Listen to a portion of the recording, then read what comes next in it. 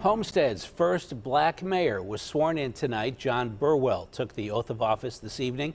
He replaces longtime mayor Betty Esper.